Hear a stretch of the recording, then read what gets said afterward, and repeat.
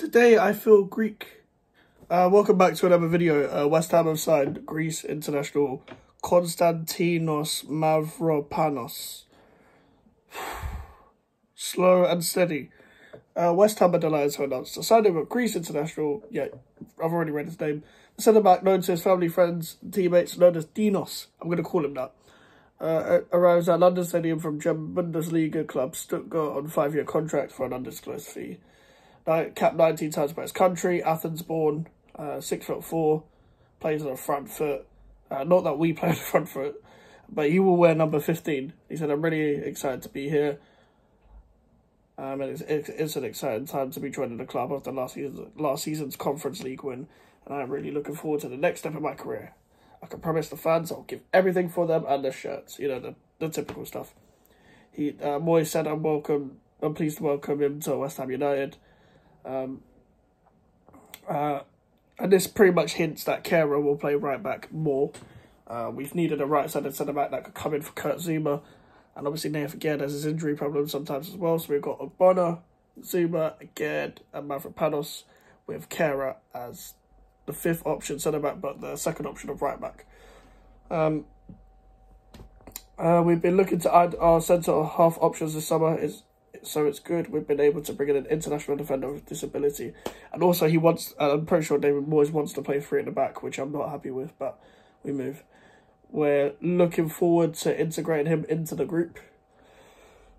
Born in 1997, he's still young. Uh, Mavropanos. Um, listen, he used to play for uh, Arsenal. Uh, but I don't ever, I've said this before on the channel, I don't ever remember him playing for Arsenal.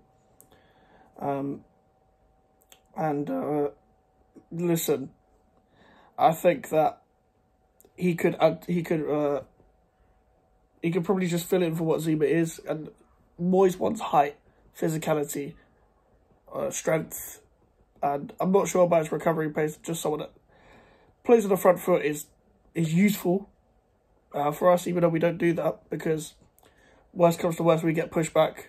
We can still try our best to play through the lines if we, if it comes down to it. Even though I don't think we will, even though I think the football should be better. Um, it sometimes you can win games like against Chelsea the way we did, and we didn't have to play expansive then. Um, and I'm not even necessarily that we have to play expansive. Just get the ball on the floor, and just play. Just simple. I'm not over I'm not overcomplicating things by saying that. Just play foot, play on the ground, and just yeah. But uh, listen, he, he, you know, he's had some European experience, I guess. Played in Germany, and uh, that will be useful for us in the Europa League as well. We need we've needed we need depth when it comes to Europe because uh, it's good that we have all these options at centre back because you know what it's like with us. We will play a few games, and then what will happen is we get a couple bad injuries and we don't have any depth. Have to shoehorn players, then we drop off. Uh, hopefully, we don't drop off uh, by uh, by getting so many injuries, and hopefully he doesn't get injured. He had a minor back problem, but uh, some weirdo source tried saying he failed a medical. He didn't, and uh, yeah, not not in jeopardy.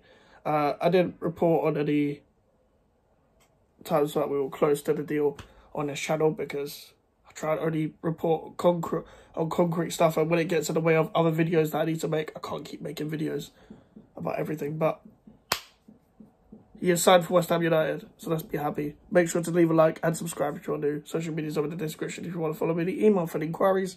I'll see you guys later. Goodbye.